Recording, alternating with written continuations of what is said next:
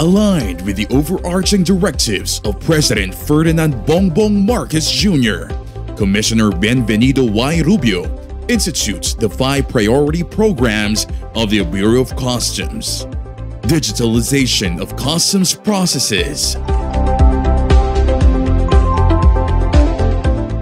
Hit and surpass the target.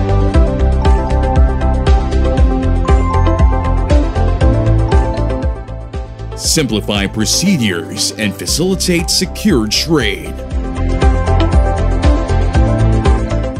Curb smuggling in all forms.